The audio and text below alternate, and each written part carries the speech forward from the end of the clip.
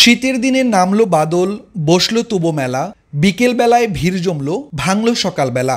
রবীন্দ্রনাথ ঠাকুরের লিখে যাওয়া পৌষ মেলা কবিতার মতোই শীতের আমেজকে আরও নান্দনিক করতে শেরপুরে অনুষ্ঠিত হয়ে গেল দুইশো বছরের ঐতিহ্যবাহী পৌষ মেলা। যতদূর চোখ যায়, পৌষ মেলায় আগত দর্শনার্থীদের ভিড়। মেলায় ঘোড়দৌড়, কুস্তি খেলা, গাঙি খেলা ও সাইকেল রেস প্রতিযোগিতা দেখতে ভিড় করে সব বয়সী মানুষ। মেলায় বসেছিল গ্রামীণ পিঠাপুলি খাবারসহ শিশুদের খেলনা মাটির তৈরি আসবাবপত্র মেয়েদের প্রসাধনী ও চুরিমালার দোকানের পসরা। ঐতিহ্যবাহী এই আয়োজন উপভোগ করেছে ছেলেপুরো সবাই দুইশো বছরের ঐতিহ্য আমাদের এই পৌষ মেলা।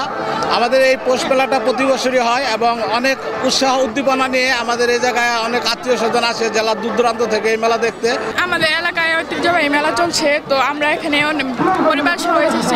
মজা হচ্ছে। আমাদের ঐতিহ্যবাহী মেলা শেরপুরের পৌষ মেলা। আমরা সবাই আসছি পরিবার সহ মানে ফ্রেন্ডরা সহ।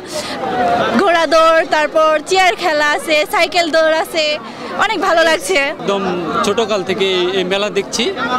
শত বছরের ঐতিহ্যবাহী মেলা। এই মেলা মানে এই নবীনগরবাসীর কাছে ঈদ। নবীনগরের প্রত্যেকটা ঘরে ঘরে গিয়ে দেখবেন যে এই মেলার জিনিসপত্র আছে। এই প্রথম আমার আসা মূলত আসছি এখানে আমার বন্ধু সুমন এবং রাহেনের কল্যাণে।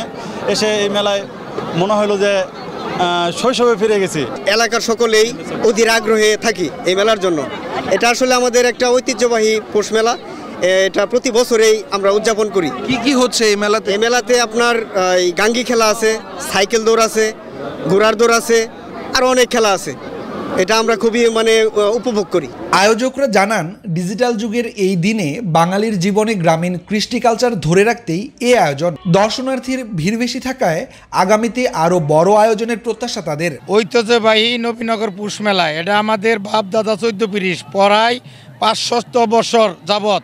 আমরা নবীনগর এই ডিসেম্বরের শেষ শুক্রবারে আমরা এই মেলাটার আয়োজন করে থাকি। মেলায় আছে মেয়েদের বালিশ খেলা মেয়েদের হাড়িভাঙ্গা খেলা, চেয়ার খেলা, সাইকেল রেঞ্জ, কুস্তি খেলা, ঘোড়াদৌড় এবং এই শেরপুর জেলায় হাজার হাজার লোক এই পুষ মেলা দেখার জন্য এইখানে আসে। আমাদের এই পুষ মেলা উদযাপন কমিটি, নবীনগর পুষ মেলা উদযাপন কমিটি শেখ মমতাজ আলীর নেতৃত্বে আমরা নবীনগরবাসী এই পুষ মেলাটা আয়োজন করে থাকি। এবারও আয়োজন করছি।